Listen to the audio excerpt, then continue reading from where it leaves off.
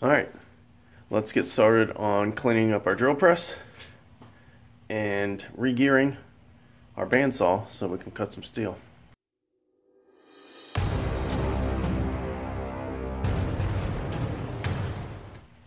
First things first, I want to blow off all the wood dust because, you know, cutting metal and stuff, you got sparks inherently. I don't want to set that sawdust on fire. And same thing for the drill press. So what we'll do, push them outside. I'll use the compressor. I'll blow them off, get them all nice and clean. Start with a clean slate.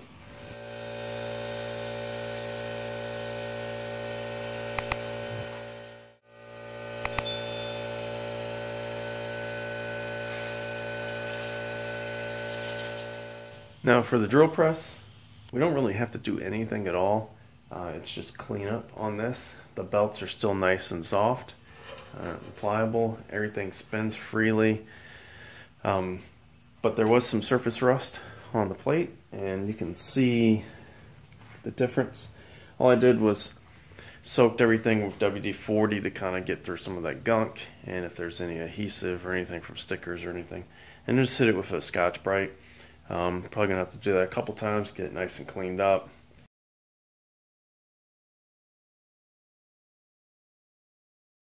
But other than that, the drill press is good to go. I've, um, just have to adjust the belts to get it to the right speed, and that's all on a label there.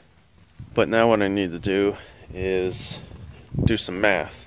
These wood bandsaws usually run at like 2,000 is it 2,000 feet per, min per minute? I don't recall, but there's some math that you can do. Now, this motor is a straight speed motor, so it only spins at 1 RPM, and this one spins at 1,725 RPM. Not sure the size of this pulley here, but I'll measure that. And then this one is a 5 inch. Well, that's not going to get us anywhere near the speed that we need to cut metal, which is, I think the sweet spot's right around 200 feet per minute for a bandsaw blade. Now I did order a bandsaw blade. Um, if you have one of these bandsaws, it takes an 80 inch. So I went ahead and ordered that. It's on the way. Um, I think I'm going to wire wheel this thing, get it cleaned up as good as I can, and we'll take the pulleys off and start figuring out uh, what we need to do to slow this bad boy down.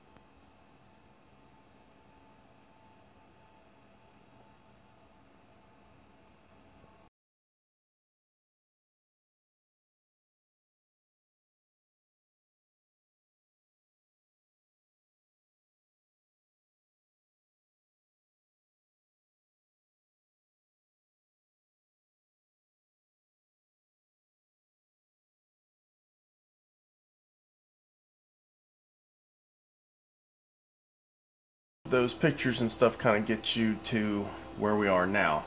We've got our bigger pulley that drives the wheels that are attached to the bandsaw blade, which I've yet to put in here. Um, We've got a small pulley on our motor that then runs this other big pulley. These two are the same. Of course, links to everything in the description. And this pulley sits on a common shaft. It's a 5 8 shaft that's keyed. And then there's another small pulley. That small pulley then runs this. That's how we get our reduction. All of that is supported by two pillow block bearings and those pillow block bearings are sitting on some pieces of angle iron that you saw me cut out and they are welded to the stand so and they're just tacked in right now once I know everything's where it really needs to be I'll go ahead and burn it in fully I do have to cut another relief for the belt that comes from here down to that small pulley um, but what we're waiting on now are some belts and to keep from having to measure and all that stuff and possibly get it wrong, I went ahead and ordered some of the adjustable belts. And once those come in, I'll show you guys. And those holes that you saw me cut into that angle iron, did it with the drill press. Drill press was a no-brainer. Just lift the lid. Oh, you're not supposed to see that yet.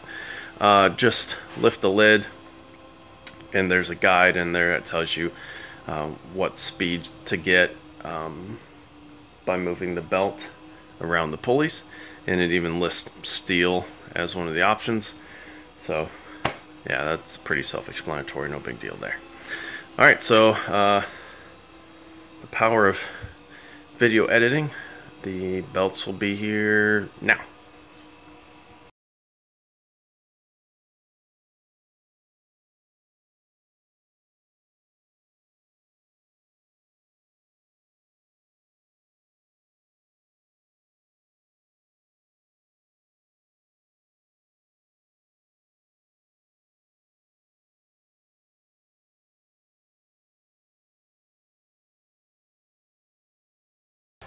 belts on now. Kind of clearance everything. It's still a little rough cut. So I'll go back with some files and the angle grinder and stuff and get it cleaned up.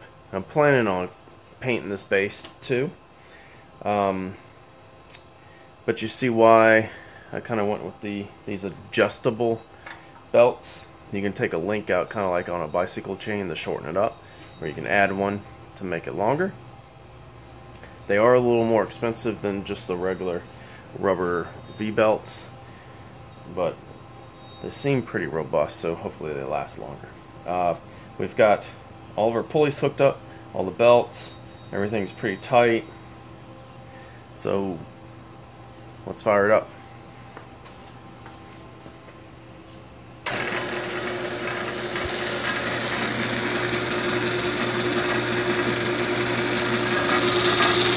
You can really see how fast that First pulley spinning, and then it slows down here. Then that small pulley is even slower, and that big pulley is way slower. I mean, you can visually tell the difference there. And that's spinning really slow. So that's what we want. Uh, that looks really good to me, so what I'm going to do is string the blade on it. And let's try to cut some steel.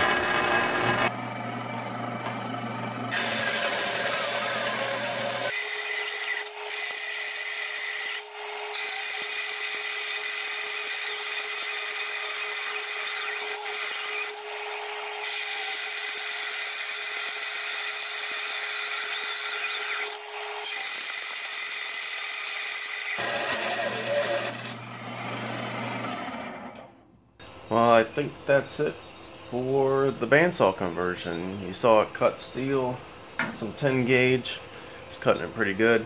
Um, my belt's slipping a little bit, so I just need to go in and retension everything. I'll probably run it for a little bit and then retension it again as everything stretches and everything.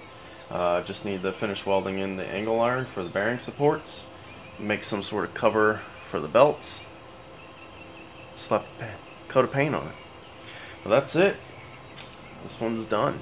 Um, can get right to using it, which I actually have some stuff I need to do, so I'll jump right on that. But uh, yeah, until next time, guys, get up, get out there, and do it.